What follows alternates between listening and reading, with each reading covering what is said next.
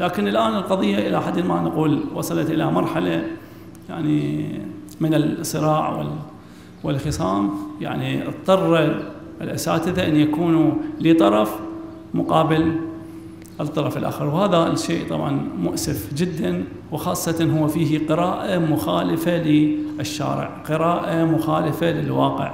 يعني أكثر من ثمان سنوات نحن عنوان المرجعية يؤسس للطائفية يؤسس إلى المذهبية يؤسس إلى القبح يؤسس إلى الانتهازية. فالشارع تربى ضمن هذه السنوات ضمن هذه الخصوصية. الآن عندما يعني لا أعرف كيف قرأت هذه القضية. الشارع له توجه معين.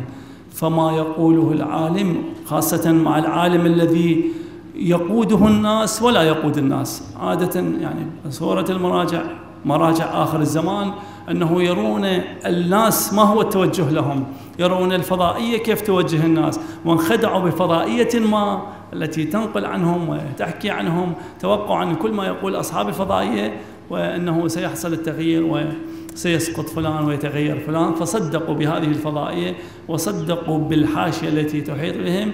فصاروا طرفا في النزال.